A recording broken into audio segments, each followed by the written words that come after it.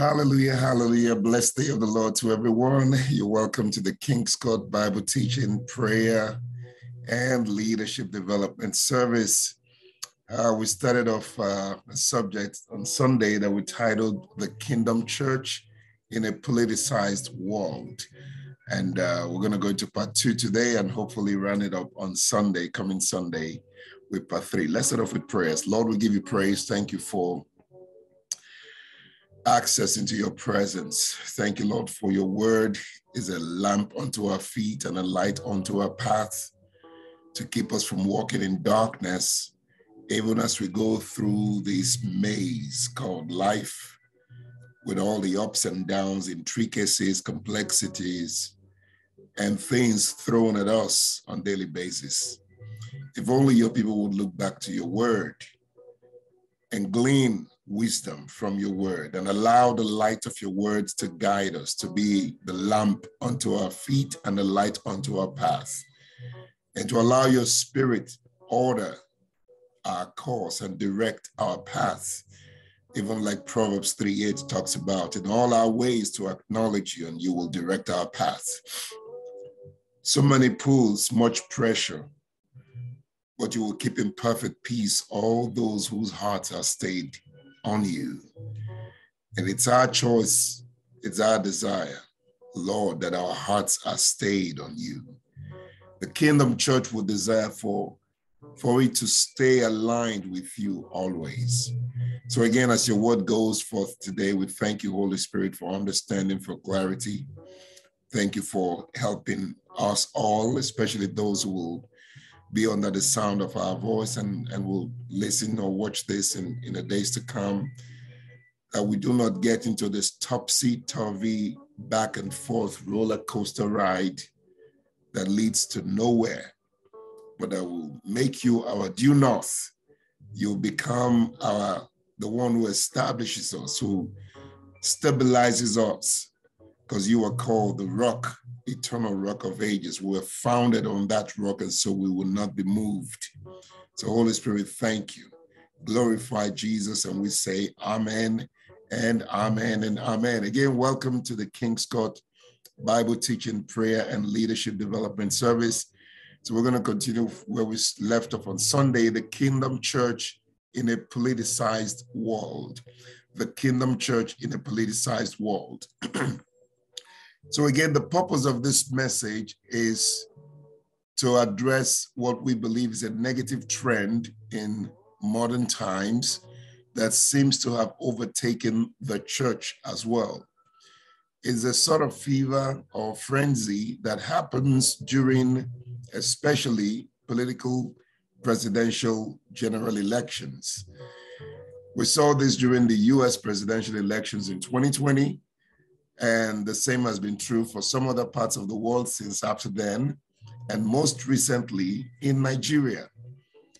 They all have a similar outcome. And what is that? The satisfaction of masses of people in the officially announced election results. This by no means, you know, gives validity to the officially announced result. No, we're not, we're not saying it's correct. We're not saying it's true, whichever the case, whether it's in the US, whether it's elsewhere in the world or in Nigeria, we're not endorsing any of that.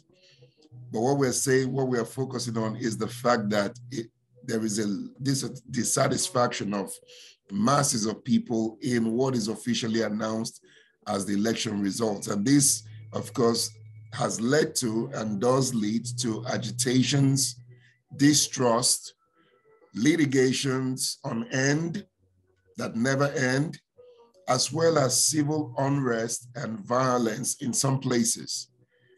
And you must understand for those who operate democracy, trust is a major foundation of democracy. When trust is eroded in a democratic process, then it might as well degenerate to anarchy.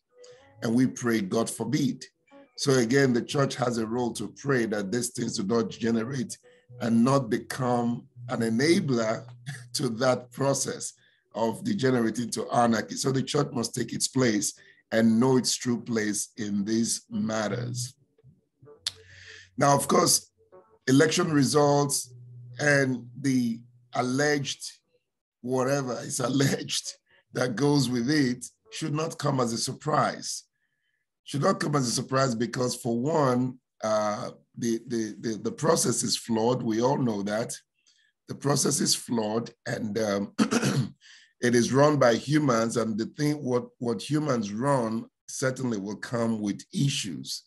So you expect issues to rise up with whatever humans, uh, you know, do. So it's not a perfect system. Scriptures also foretold of the turmoil of nations. Scriptures told us of what will become of nations in the days to come.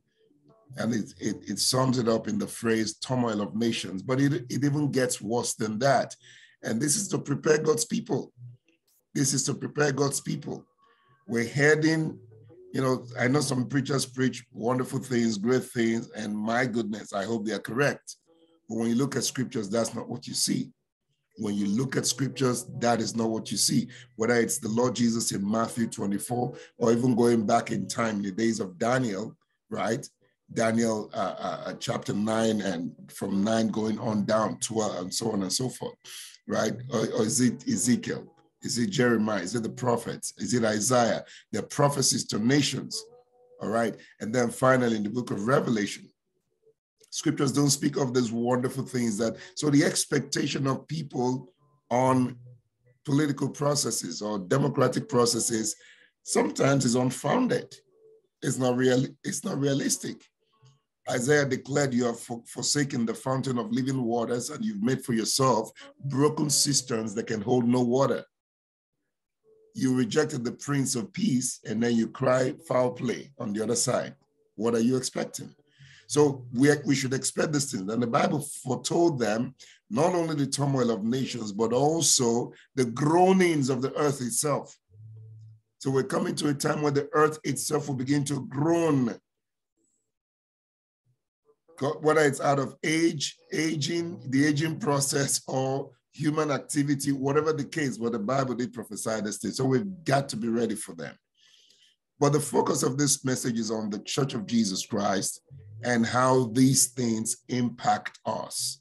What should be the posture and position of the kingdom church? And I'm more specific with the kingdom church because I understand there is a church that is not the church of Jesus Christ. So just because it's called church doesn't mean it's the church of Jesus Christ. Jesus told us, and uh, we're going to look more into that on Sunday, I will build my church. So there's a church he calls his church. We're going to see what he meant by that. And what to expect in his kind of church or the church he calls his church. So, that church that is called the Church of Jesus Christ, what should be our posture and our position in a politicized world? What should be the posture and position of the kingdom church in a politicized world? And by the way, that should also affect kingdom people because kingdom people make up kingdom churches. And that is you and me people who have Christ, who ascribe to the kingship and the lordship of Jesus Christ, who are filled with his Holy Spirit and who do his will and follow the order of God, not those who say one thing and do another thing. All right. So, should the Church of Jesus Christ, which of course is represented by the local houses of worship all over the world, should the Church of Jesus Christ immerse itself into the politics of the host communities, whether it's a city, whether it's a, a country, or whether it's a nation or a region. Should the Church of Jesus Christ immerse? Now, the word immerse means to be submerged. It's like to be like baptizing you. So you're all the way in into it. Should the Church of Jesus Christ be immersed into the politics of its host communities? Should the prophetic muscle, the prophetic ministry, should it be directed to determining outcomes of political processes? The question, it, it, you know, the, the, the question must be answered. Are political processes divine processes? Are political processes God's method? Okay, is God a partisan politi- politician or is he involved in human, in the politics of the people? We've got to answer these questions. so this message comes to draw our attention to three things. And we started off number one on Sunday, which is understanding and categorizing prophecies of national significance. Because when you make a prophecy that has national implication, you're dealing with, my goodness, you're dealing with millions of people. You're dealing with people of different ethnicities, especially in a multi-ethnicity country, a, multi-ethnic country. You're dealing with people with different cultural backgrounds, different religious belief systems, you know, different uh, uh worldviews and all of that. And then you give one singular prophetic word to affect all of them. You got to weigh that. You've got to wait. All right. So we must begin to understand how to categorize prophecies of such magnitude. When prophecies are given to individuals, that's a different ball game. When prophecies are given to families, that's a different story. When prophecies are given to even different people groups, that's a different story because there's a commonality, there's a shared commonality amongst them, right? When prophecies are given to entities and and and you know say organizations and stuff like that, or, or, or bodies, corporate bodies, that's because they are bound by a singular vision. All right. But when you now give a prophecy over a nation, especially a multi-ethnic, multi-racial, multi-religious nation, ooh, we got to weigh that thing. We got to weigh that thing. How does God rule amongst even people who don't want him to be king. We will not have this man rule over us. Does he impose himself upon them?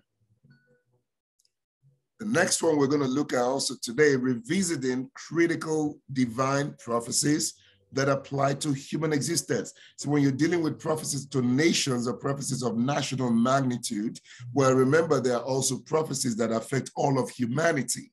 So in the scale of preference, in the scale of uh, magnitude, which comes first? Which, which is of more importance, which is of more uh, uh, uh, critical nature? I would say the prophecy that pertains to all of humanity or human existence is weightier.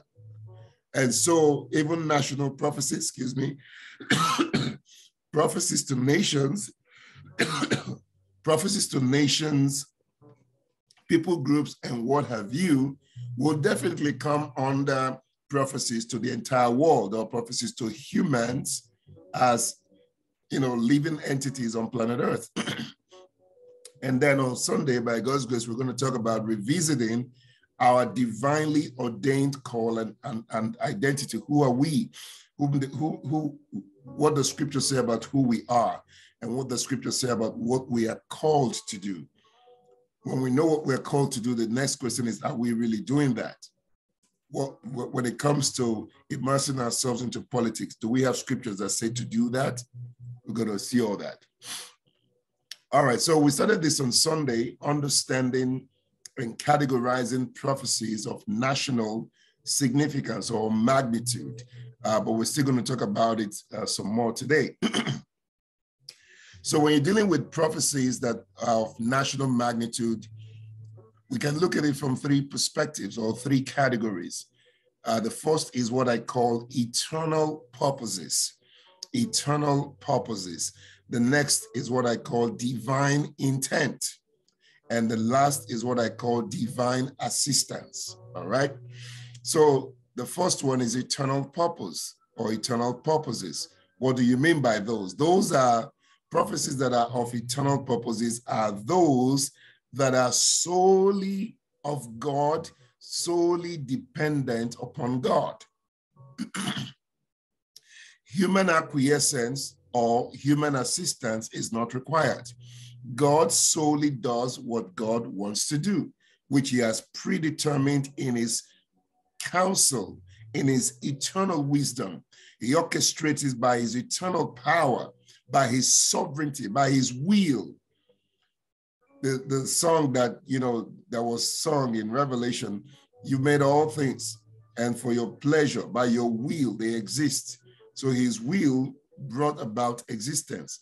No human was consulted about that. We saw that on Sunday. But today I want to show a different text.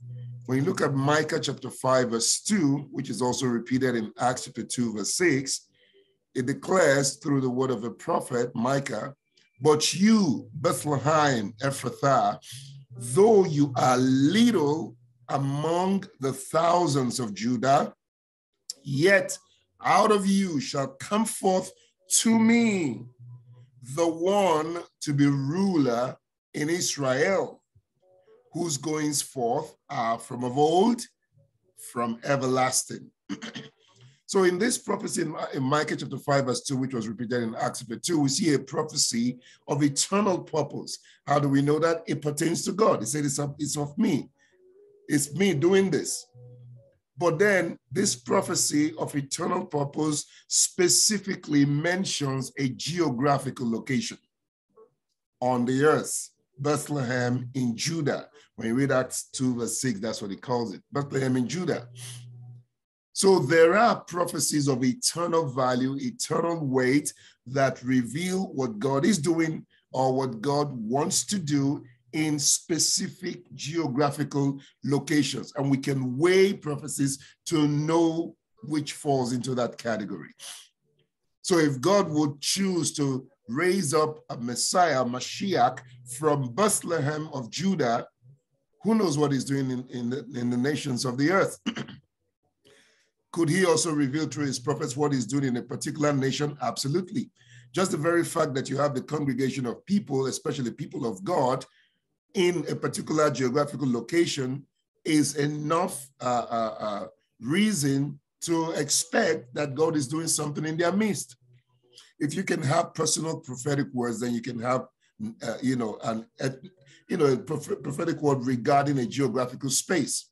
Now, whether it pertains to the whole nation, it's not the question, but I mean, what God does in that nation may not affect the entire nation, but it, for the sake of his people in that nation, God could be doing something in that nation. All right. So we can know when a prophecy comes forth, is this a, is this a prophecy of an eternal purpose? Is this something the eternal one has decided to accomplish? Or is it just meddling in human affairs? The second uh, category is divine intent. And prophecies that relate to divine intent are those that reveal God's desire. See the difference? There is eternal purpose, but now is an intent. There's a divine intent. There's a there's a divine desire, God's desire, God's will, God's plan, God's best for people, which could be a nation, which could be a people group, which could be a community, so if the nation or some people, individuals in the nation, or even one single prophet were to ask God, God, what is your plan for our nation? He could say, This is what I wish. This is what I think. This is what I'm planning. This is my intent. This is what I would love to see happen. In fact, let me show you the future. Let me take you to the future. And God has done that. Take prophets to the future and show them a, a, a, a preferred future. Does that mean that future will be? It depends on the people because there is a way to get there. It's like embarking on a journey, right? You cannot get on a flight going to, uh, for instance, uh, uh, uh Dubai and say, okay, uh, Israel, here I come. You can be saying that, but sure enough, you're not going to Israel because the flight you're boarded is going to Dubai. So when the preferred future is revealed, there is a course. There's a predetermined, predefined course to get to that future. If the people choose not to walk or follow that course, then they will not get to that preferred future. So God's intent is what he would see, what he would love to see happen from his wisdom, from his, you know, uh, uh, uh, uh foreknowledge. That's the word I'm looking for. From his foreknowledge, from his foreknowledge, he knows what is best. But people have a will, people have a choice in the matter. People can say yes to God or no to God. So the people must acknowledge, agree with, and co labor with God to make this happen.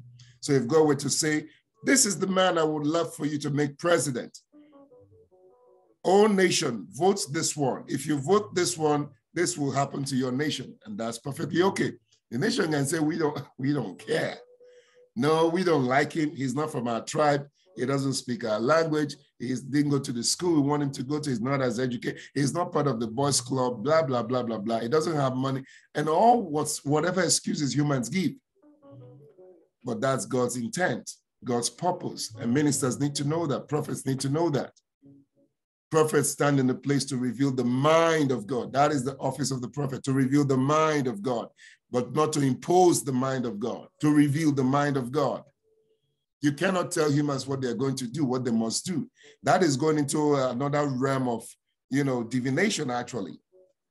Because God gives humans free choice, free will. Adam and Eve is a good example. He knew where they were going and he warned them, don't do that. Cain, he told Cain, sin lies at the door and his desire is towards you. But I'm counseling you, don't go that way, Cain. Come this way. Go quickly, get a good offering. You know what I want. Get an offering, do it, and you will be accepted. Did God impose on Cain? No. So, but if you go the way of, of, of sin, this is what's going to happen. That's God for you. So God will show you outcomes of your choices, but it's not going to impose it on you, let alone a nation of divided people. and a, an example of divine intent we see in 1 Samuel 16, verse 6 to 8. This is a very interesting uh, verse, uh, you know, story of script of the of the Bible. So this is Samuel in the house of Jesse to make David, to anoint David the, the next king of Israel.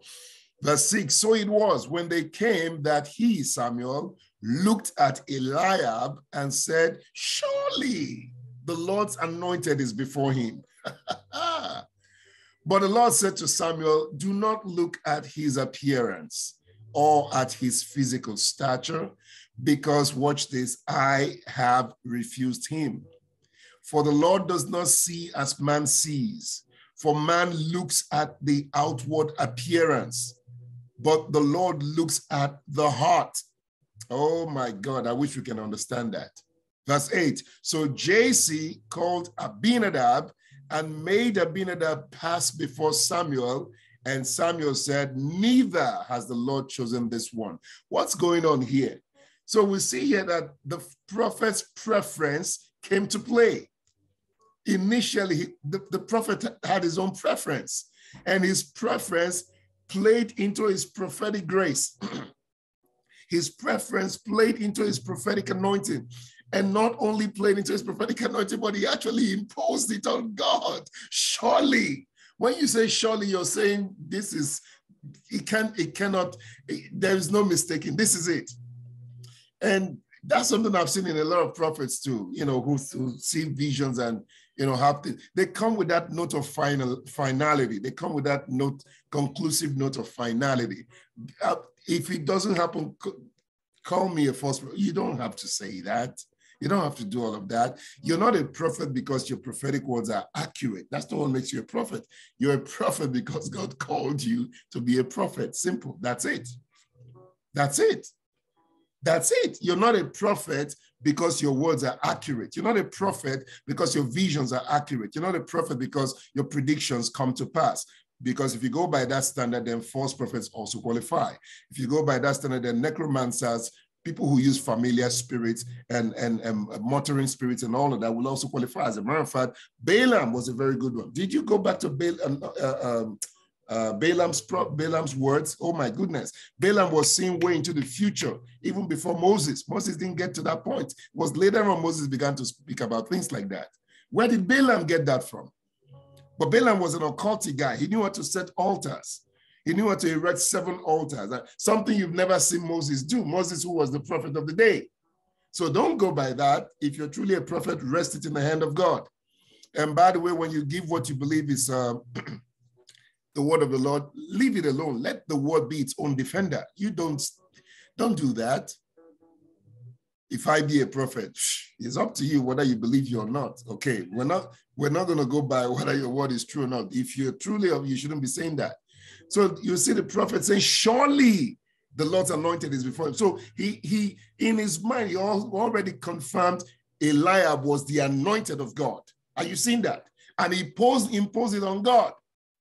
So again, this goes to some folks who usually say, eh, if you're truly a prophet, you will not miss it. You will not miss it. All the prophets of old were sharp. They didn't miss it. Well, I just showed you one. And there are many others. I've always told people who say that that's not true. And by the way, all you see in the Bible are the times they got it right.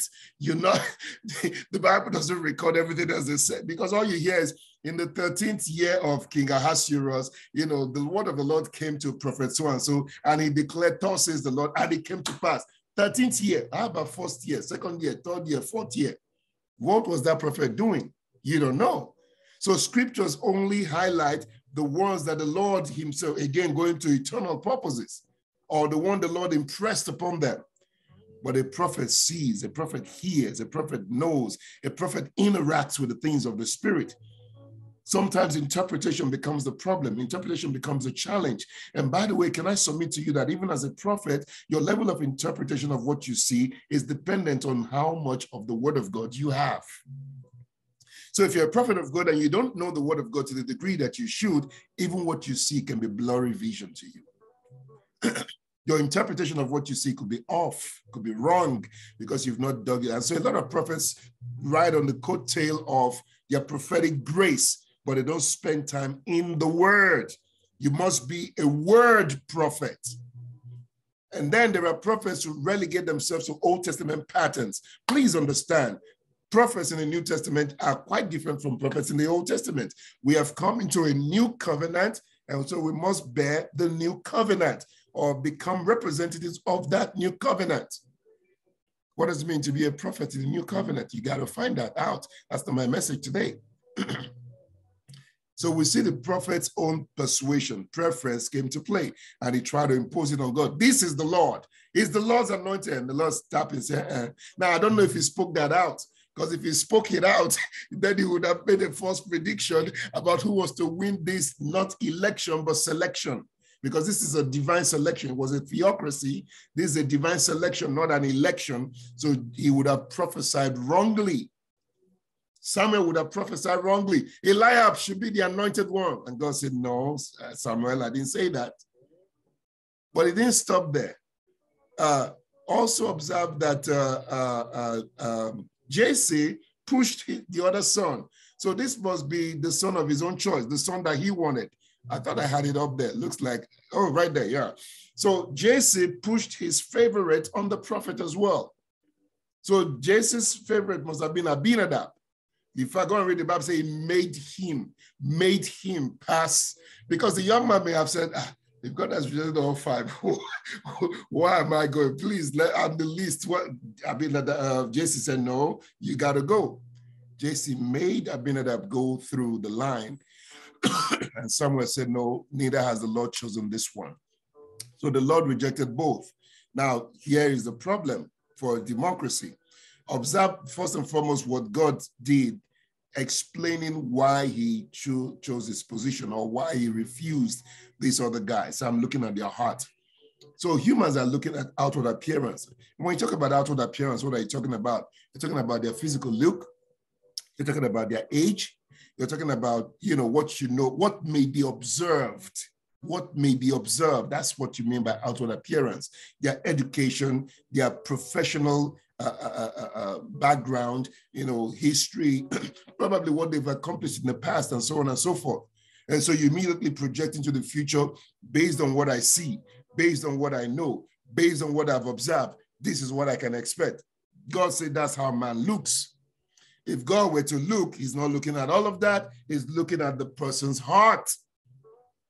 So, all people who are casting votes, have you seen the heart of the person you're casting your vote for? Have you asked the Lord for their heart? Because the heart matters. The heart is the center of, of a man's, you know, uh, uh, uh, existence. All right. And that is also the problem with a democracy. Because what is interesting here is that no, none of the candidates that were presented was approved by God. That is the interesting thing here. God said, no, all the guys you, you've given, you've select, you've, you know, brought up, none of them meets my standard. In fact, the guy I choose for you is not even here at all. That is the limitation of a democracy.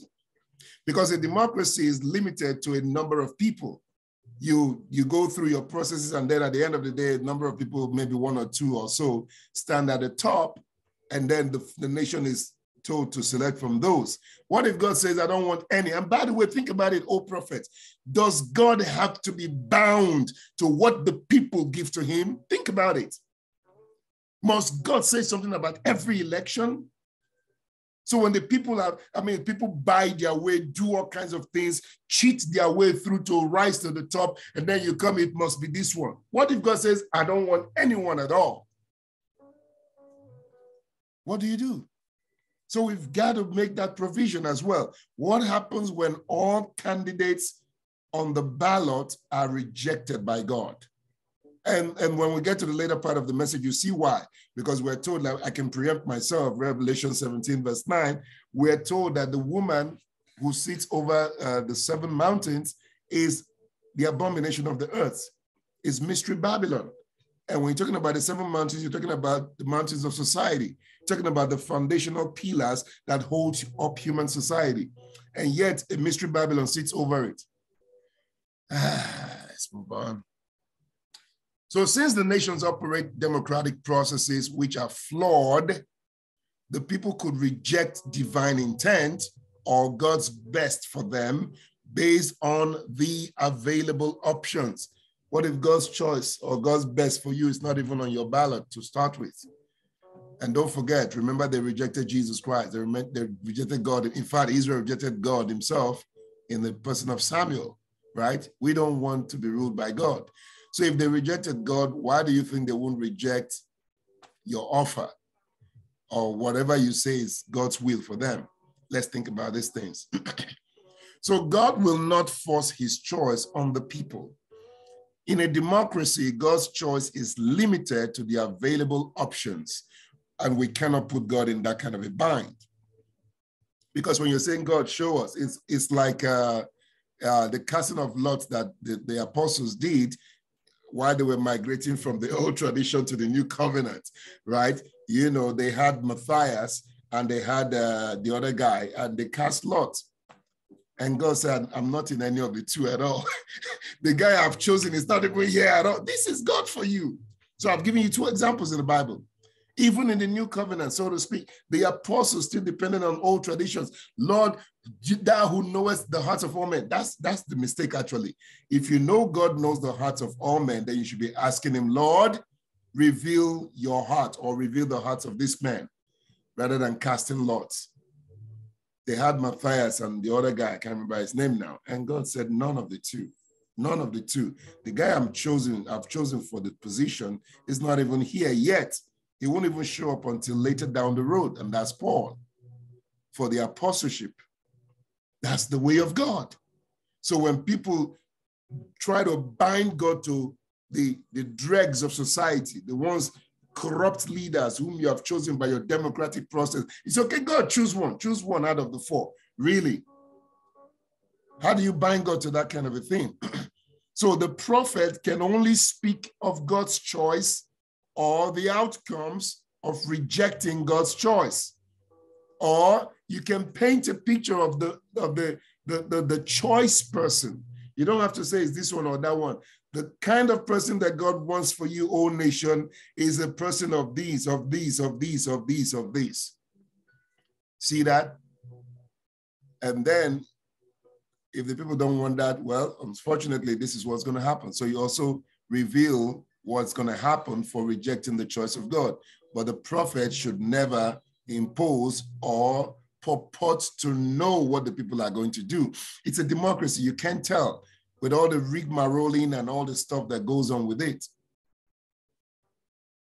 All right, so the next one is divine assistance. The third category is divine assistance. So prophecies that, you know, relate to divine assistance are those that involve divine intervention divine intervention in the state of affairs. If and when God's people earnestly pray for it. I know some of the prophets who spoke about the Nigerian prophetic, uh, Nigerians as a, a political situation, kept saying, if you pray, if you pray, I will do this. And that's how prophecy goes. That's how you know a mature prophet. If you pray, this is what I'll do. So it's a conditional thing, and it's always that's divine intent. Divine intent is conditional. If you pray, don't get involved in the point, don't tie yourself with the politics of the nation. Become the church I've called you to be. Don't settle for political power. There is power in you as church. If you pray, this is what I will do. Did, did, did they pray? No, it looks to me like they already knew what God wanted for them. A lot of the ministers, even the big time ministers in the nation, Nigeria more specifically, seem to know where God wants to go. And so kept imposing this is it has to be this one, it has to be this one. But God says, I have a greater need that you know nothing of. There is a meat that I am hungry of that you know nothing of. Your nation needs this, and that's what I want to give you. Which we saw some of it in my in the last message uh, Wednesdays. Unity. Unity is one of the things the Lord mentioned. All nation of Nigeria, the Lord will say to you, your first problem is unity. You're not united. And whenever these things happen, your tribalism comes up. So tribalistic. Your tribalism is all, it, it stinks to high heavens. You're not yet a nation. You're not yet a nation. You're still tribal groups trying to forge ahead. You're not yet a nation. You're not bound to a single vision as a nation.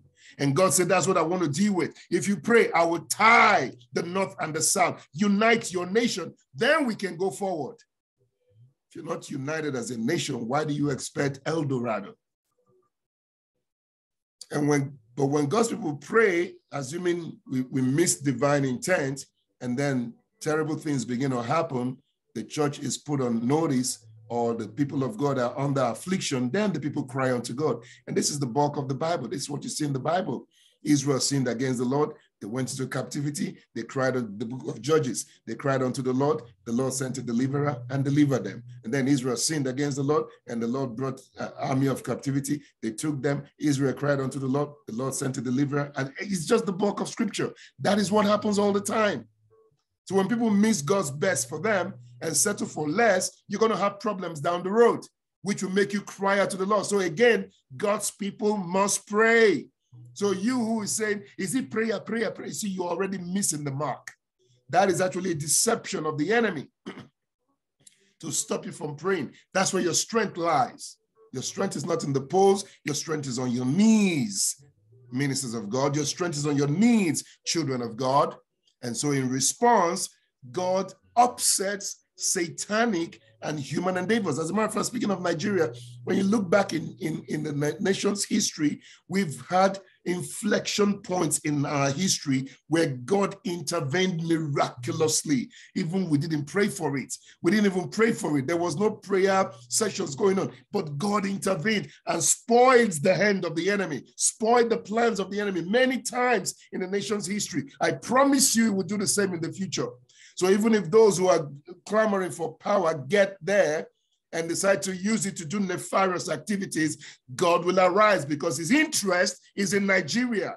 Put your trust in God, Nigeria, not in man's systems. And so you find that in Job chapter 5. I can't read the whole thing for time's sake, but when you read from verse 8 to 16, it pertains to you, and I believe this is prophetic for you, Nigeria, at this point in time. He said, But as for me, I will seek God I will seek God, and to God I will commit my cause. Who does great things and unsearchable, marvelous things without number? He gives rain on the earth and sends waters on the fields. He sets on high those who are lowly, and those who mourn are lifted to safety.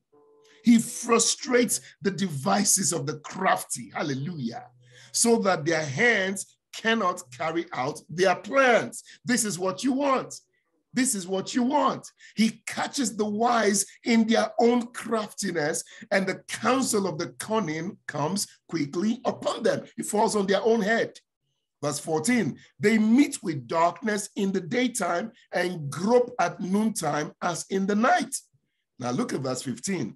But the Lord saves the needy, the downtrodden, the helpless from the sword, from the mouth, and from the hand of the mighty.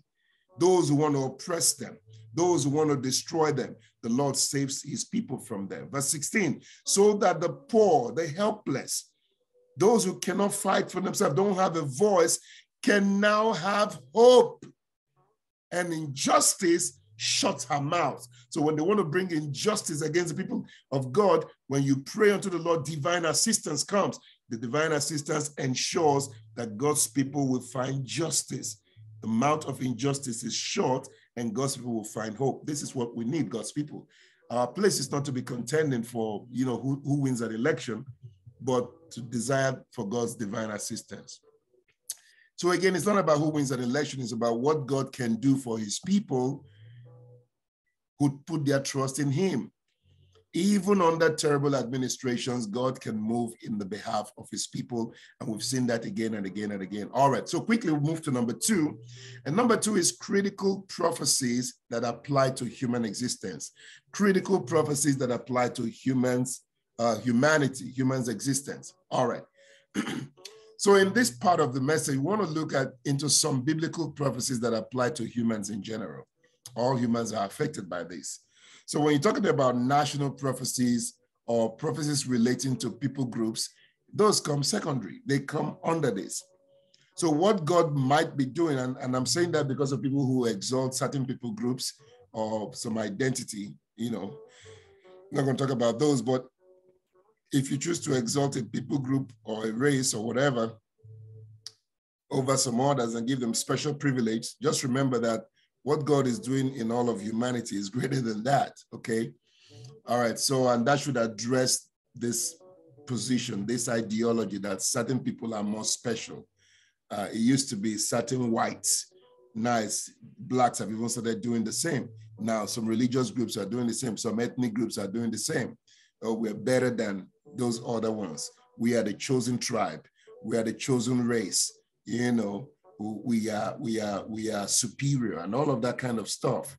Whatever you think your your your group your ethnic group you know has that is you think is better than others just remember that uh, your passion for that uh, for those exclusive privilege must be framed by god's sovereign agenda. God's sovereign agenda overrides any other agenda for people groups for nations and what have you. Here is an example, Genesis 1, 26 uh, to 28. I'm not going to read it, we read it on Sunday, but it talks about let us make humans in our image according to our likeness, let them have dominion and all of that. So, but here's our submission based on that. All humans were created by God. Okay, that, that is bottom line. All humans were created by Almighty God but they are all invited to pursue after the likeness of God. So God made humans for a singular purpose to be like him, to pursue after his likeness. And that applies to every human on planet Earth. That applies to every race on planet Earth. That applies to every ethnic group on planet Earth. If you're a human being and you were created by God, then you were called to be in the likeness of God. You were called to pursue after the likeness of God. And the refusal to do that is why we have problems in the earth.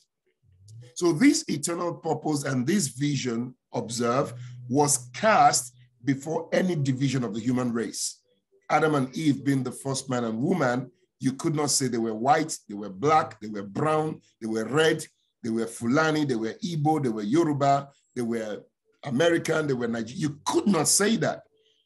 They were formed in the Garden of Eden. End of story. They were made by God out of the dust of the earth. Breathed into them, became a living soul. We're not told their color. We're not told their race. We're not told the, even the language they spoke. We don't know all of that. And anybody who comes to tell you they know, well, that's speculation.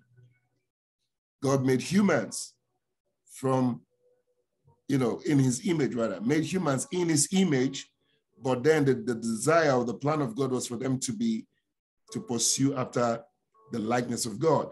So you, old man of God, who is pointing finger at a different ethnic group, don't you see you're already in the wrong? Because God made them too. God made them too, and God is calling them to be like him as well. Right now, there are some ideologies that border on the ridiculous, but I'm going to touch them because some people actually, a number of people are beginning to believe that. There are some ideologies that say that certain people walking the face of the earth today are reptilian creatures uh, in human form. Not going to go into whether that's true or not, but here's what I'll say to you. The Bible is so rich, and I want to encourage you, those of you who don't read the Bible, I'm not even talking about Christians, non believers, non Christians, read the Bible. Take your time and read the Bible. Read objectively, read as any book, any other book. I mean, you sit down and read fictitious books, you know, you know, books that you know are not true, and you don't have a problem reading those. Why don't you make the Bible a part of your reading? And I say read from a simpler translation, read a simpler version and see what you might find out. But the Bible does not leave us clueless as to the existence of creatures other than humans. Bible speaks largely about these things. So we cannot say that uh, point of view is totally out of this world. We cannot say that because the Bible does speak about you know certain things that we we we, we may not fully understand, but it makes uh, it points us to some of these things. All right. It point, I mean, when you go back to Genesis 6 and all of that, hey, who knows what was going on then, right? Sons of God, sons of women, uh, uh daughters of the world. We don't. Some people say they are angels. Some people say they are demons. Some people say they are fellow humans. Okay, I don't know. We're going to find out in days to come, right? But something happened there. Something happened there. We also know the Bible speaks about a spiritual realm where you have demonic spirits that can actually possess people. The Bible talks about that. Now, to what degree do they possess people? We don't know. Could they possess people to the degree that they take over their entire will? We don't know that. But it seems to me that it's possible because some of the people Jesus Christ dealt with their demons were beside themselves. They were totally beside themselves, right? So could it be that certain entities can take over human form or human beings and begin to mani- manipulate or use them? The Bible does point to stuff like that. So I'm not going to, you know, debate that. But here's what I'm saying. Creation itself is an act of Almighty God. All right. Creation. So even when you say reptilian creatures, they too were created. Who created them is becomes a question. So creation is an act of Almighty God. Everything that is was created. Everything that is was created. Again, the song in Revelation, I think Revelation 4. For you have created all things, and by your will they exist, and for your pleasure. All things were created by the Lord God. Now, in the case of humans, the goal is to pursue after the likeness of their maker. So all of God's children should be co-laborers with God to make this a reality. So, minister of God, you should not be condemning humans, any humans at all. You should be helping them fulfill the call of God, which is to pursue after the likeness of God. Here is another text John 3 16 to 17. This is about salvation. It says, For God so loved, take note, the world, that he gave his only begotten Son, that whoever, King James says, whosoever, believes in his son. So whoever means anyone, anyone on the planet, any human being, whether you are Fulani, whether you are formerly and you know whatever, you raised up Islam, raised up occultic, born in the graveyard, born in the water. Some people are doing that now. They go underwater to give birth to their children, just to tell you the level of demonic manifestations. All right, so whatever, but all humans were created by God. The life giving spirit is who he is. He's the life giving spirit. All right. But all humans are called to salvation also.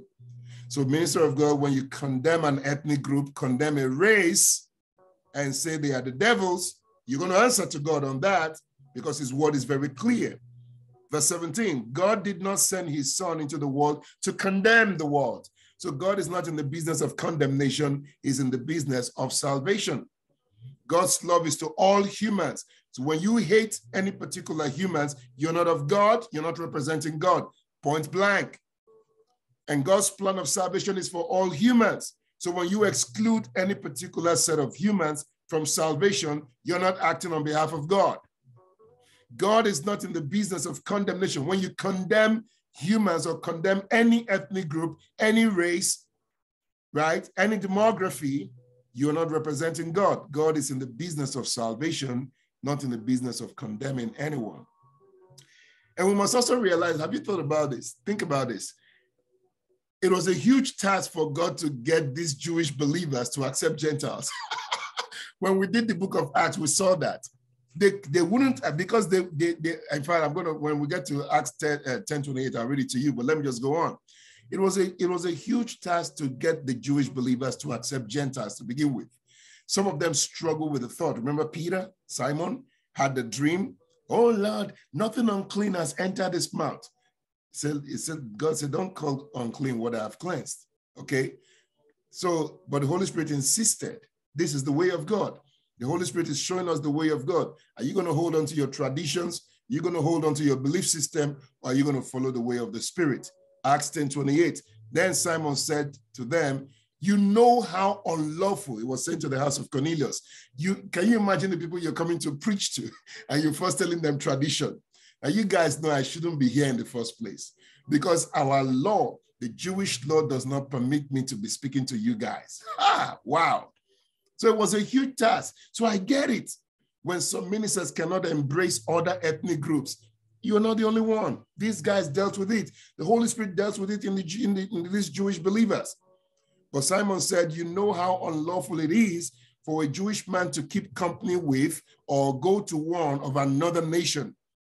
But God has shown me that I should not call any man common or unclean. Okay, so you're going to stand before God. Peter here tells you God showed him that he should not call any man, any man, any man. So you cannot call anyone on planet Earth unclean or unworthy of salvation. No, you should not do that. so, with respect to the systems of the world, let's now look at some other prophecies that deal with issues pertaining to the systems of the world. I want you to observe here how Christ, his apostles, and eventually we're going to find an archangel classified the systems of this world. We are here killing ourselves, jamming our heads, fighting one another, calling names, you know, literally wiping people out from the book of life because they don't agree with our political affiliation. They don't say what we say verbatim. So we say they are no more children of God. They are no more apostles. You know, they, they are false prophets because they don't agree with our political ideology. But I wanted to see how Christ, how his apostles, and how even an archangel classified the systems of this world that you are defending, the systems of this world that you're pursuing about, the systems of this world that you're clamoring for. How does God classify them? All right, John 18 36. Jesus answered, My kingdom is not of this world. If my kingdom were of this world, my servants would fight so that I should not be delivered to the Jews. But now my kingdom is not from here. So Jesus made a delineation between the kingdom that he represents versus the existing or pre existing kingdom or pre existing system. So Jesus says, I have a system, I have a government, I have an administration that is totally different from this one. Mine is not the same as this. Mine does not come from this. Mine is not this. So the kingdom church must settle this matter. If you say Christ is your king, then your king and the head of the church just said, My kingdom is different. And you cannot change that position. You cannot change that position. So it's either we move away from that position and say, okay, I don't agree with Christ. We must fight for the land. It must be our land, our land, our land. You're going to die one day and leave the land. The earth is the Lord's, right? The earth belongs to him, doesn't belong to anyone. All we do is we we we we we we lease it. That's really what we're doing. We lease the earth, we lease the land. One generation passes, another generation comes. Wars happen. Even the, the topography of the earth changes. Climate changes things, right? Catastrophe happens, and the whole thing changes.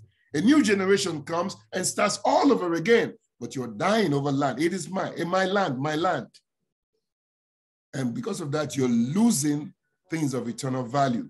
So we can either move away from Christ's position or we can align ourselves with Christ. All right, here is the next one.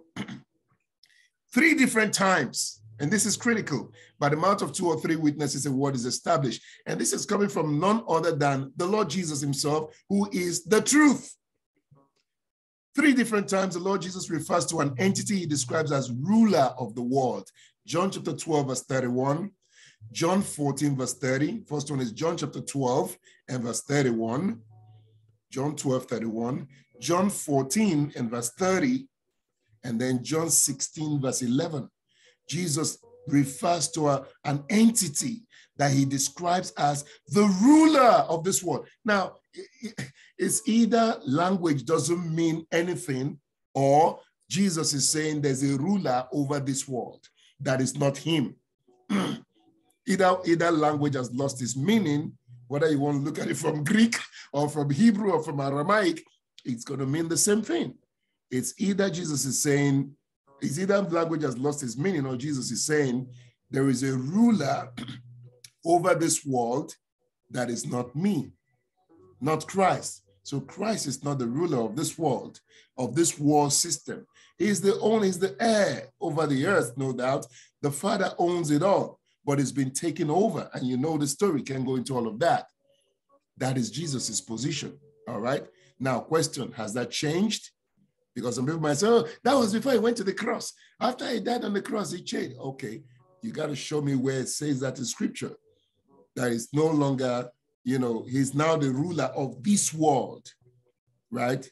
No, what he keeps saying is, I'm, I'm, I'm going to prepare a place for you. When I come, I will establish a kingdom. That's what we see. He didn't say he rules this world. All right. And if that has not changed, then that statement has huge implications for God's people. We've got to evaluate because it pertains to all who are members of the kingdom of God. All right. That was Jesus. Here is his apostle, Paul. Second Corinthians 4, verse 3 and 4. Even if our gospel is veiled, it is veiled to those who are perishing, whose minds, observe, the God of this age has blinded who do not believe, lest the light of the gospel of the glory of Christ, who is the image of God, should shine on them. So Paul refers to an entity that he describes as the God of this age. Was he referring to Christ? And this was after the resurrection of Christ. So Paul didn't get the memo that anything changed. Paul did not get the memo that the resurrection of Christ, the ascension of Christ changed the dynamics of things. No, he kept speaking about a God of this age.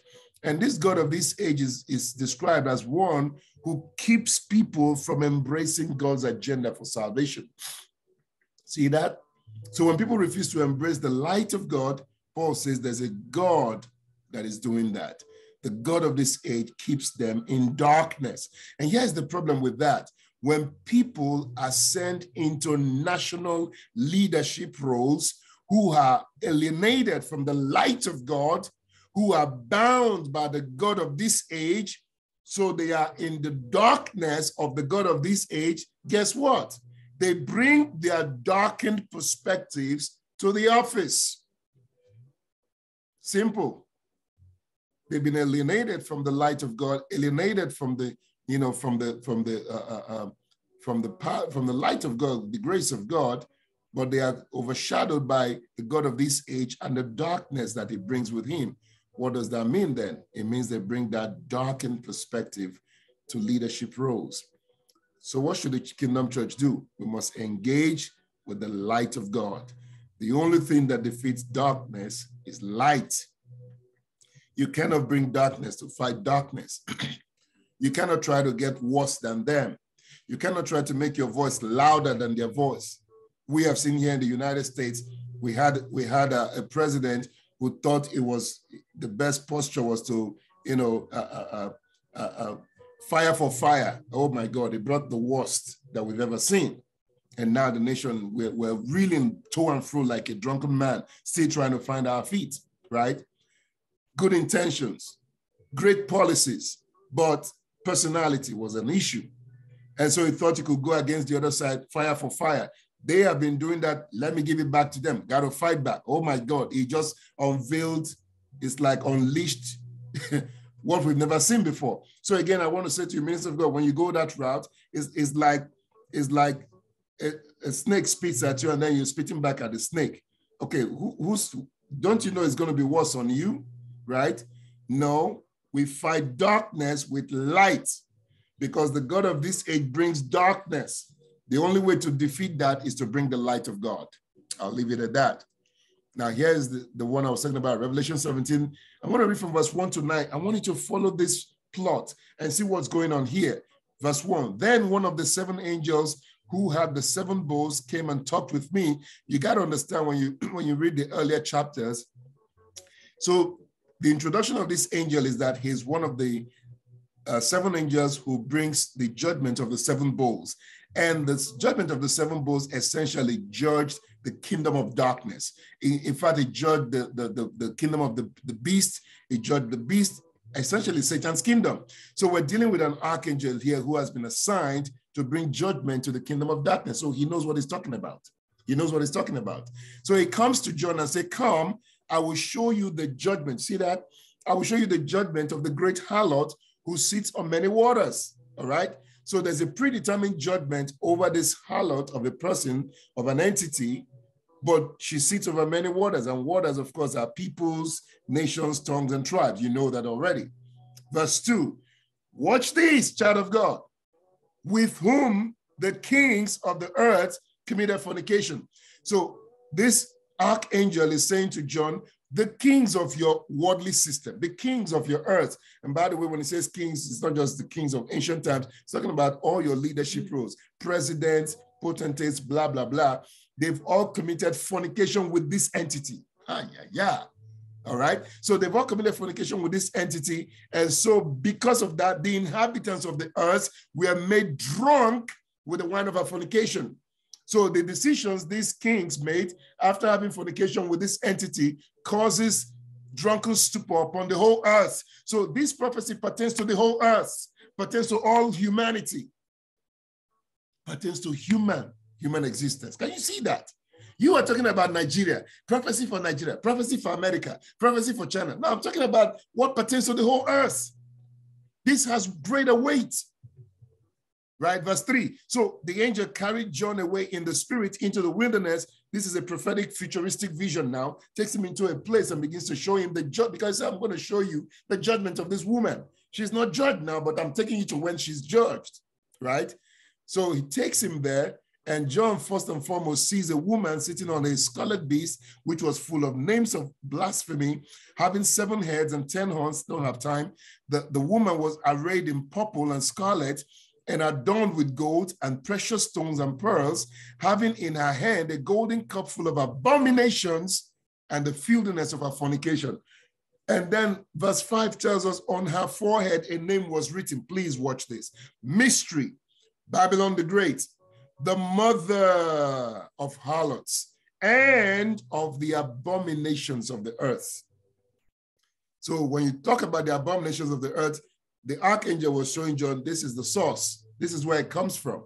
This is the one who is in charge of it all, right? He goes on verse 6. John saw the woman drunk, watch this, with the blood of the saints. Oh, they are killing our people. They are killing Christians. God knows that.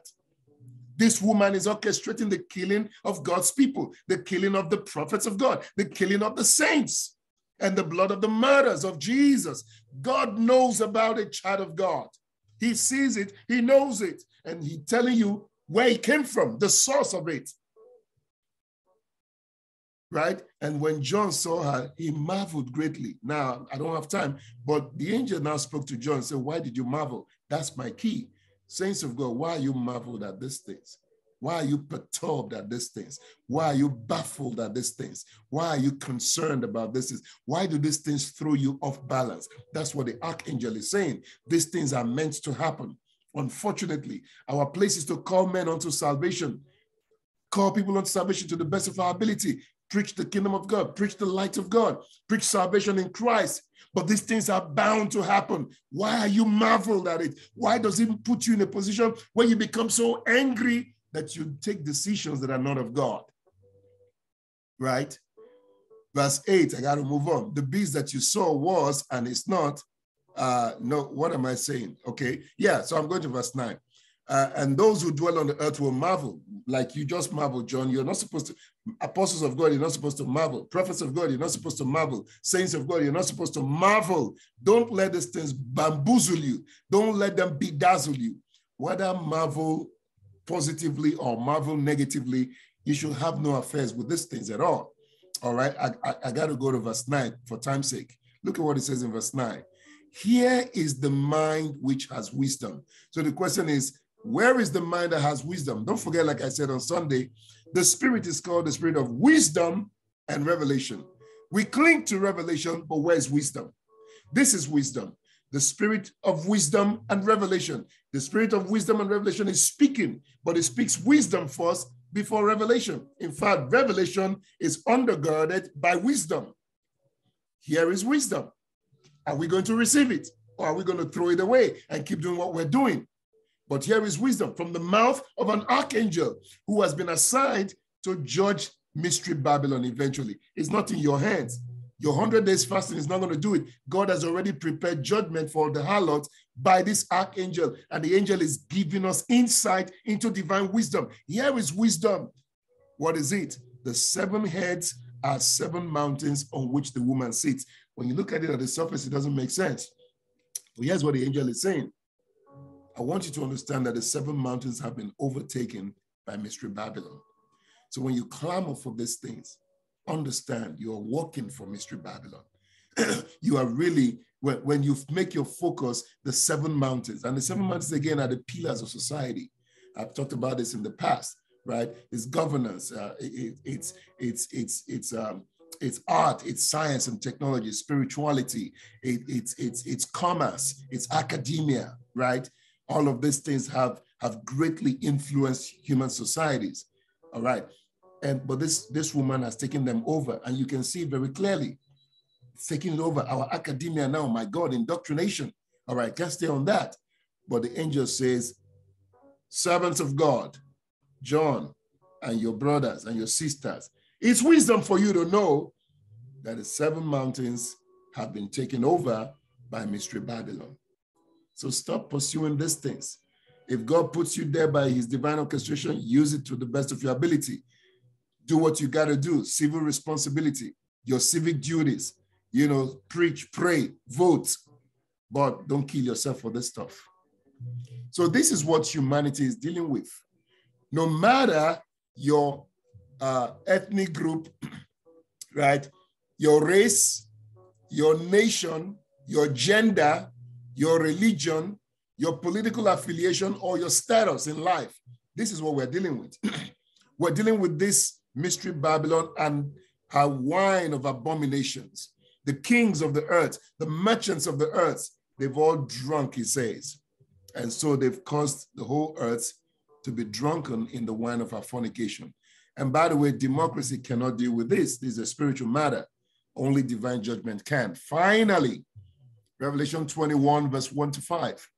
Revelation 21, verse 1 to 5. Now I saw a new heaven and a new earth, for the first heaven and the first earth had passed away. Also, there was no more sea. Then I, John, saw the holy city, New Jerusalem, coming down out of heaven from God, prepared as a bride adorned for her husband. And I heard a loud voice from heaven saying, Behold, the tabernacle of God is with men, and he will dwell with them, and they shall be his people. God himself will be with them and be their God. Verse 4 And God will wipe away watch this, every tear from their eyes. There shall be no more death, nor sorrow, nor crying. There shall be no more pain, for the former things have passed away. Then he who sat on the throne said, Behold, I make all things new. And he said to me, Write, for these words are true and faithful. This is the only time, saints of God, that we can expect global peace. So by you saying, oh, cessation, if we go our separate ways, we will have peace. You're lying. It's a lie. It's not going to happen because the earth has been judged. The earth is doomed. The God of this world, mystery Babylon, is turmoil, is war everywhere, death all over the place. All right. The only kingdom, the only nation, the only government, the only administration that will establish peace and bliss is the kingdom of Christ. That is why we invite those who are not yet saved. Come to the Lord Jesus. Come to the Lord Jesus before it's too late. Come to the Lord Jesus before it's too late. It's only in Him that we can find true peace. So when the government literally rests on the shoulders of Yeshua, the Lord Jesus, that is when we can have true peace, true joy, and true love. All right, on the earth, the new earth. We can have foretaste of it right now as we embrace His presence. So again, ministers of God, the yoke is broken by the anointing. It is the anointing that is our strength. The anointing is our advantage. It's not democracy. It's not carrying placard. It's not your protest. Protest as a function of your civil responsibility. You can do that. But don't think that is what will solve Mystery Babylon's problem. It's not. must stand our place as the kingdom church using the keys of the kingdom. We're going to talk about that on Sunday so that we can bind and lose what God has bound and what God has loosed. Amen and amen. So on Sunday, we shall look into that some more, and that will be revisiting our divinely ordained call and identity. Lord, we give you praise. Thank you, Lord, for your word. And today we pray that your word has gone forth according to the grace that you supplied. Let understanding be given. Let illumination come forth.